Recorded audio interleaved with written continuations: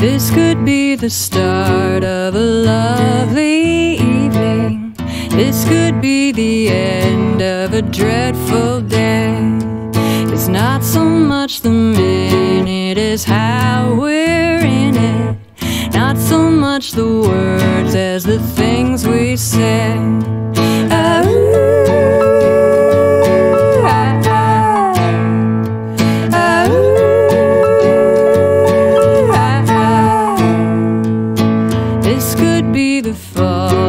Of a faded romance. This could be the spring of a true blue love.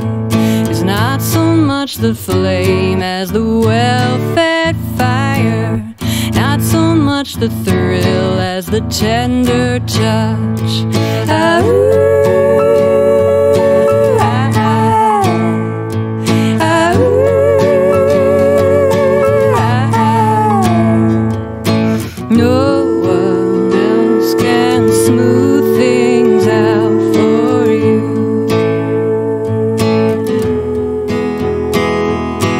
In the end, it's up and down to you.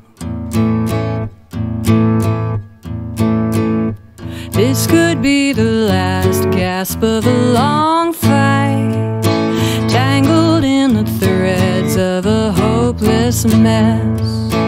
This could be the first breath of joy and life.